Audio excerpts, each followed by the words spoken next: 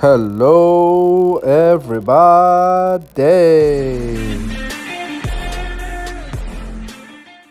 Welcome.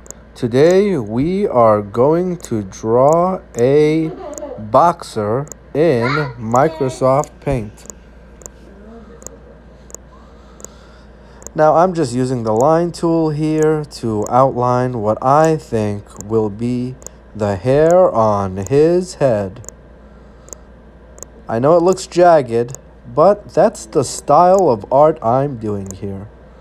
Adding some ears, adding some teeth and eyes. The circle tool is so helpful. And now I draw some lines on the face, like eyebrows. Here we go, get some lines. Always press undo when you want to undo a line. Let's draw some face muscle lines because he's a boxer, so he's really strong. and now some and now some giant gloves.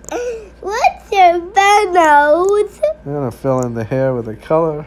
With the color brown. There we go. Just get rid of some lines. Add And a lot of it today. Actually, it's the nighttime. Bye, guys. See you later. Wait, we're not done yet.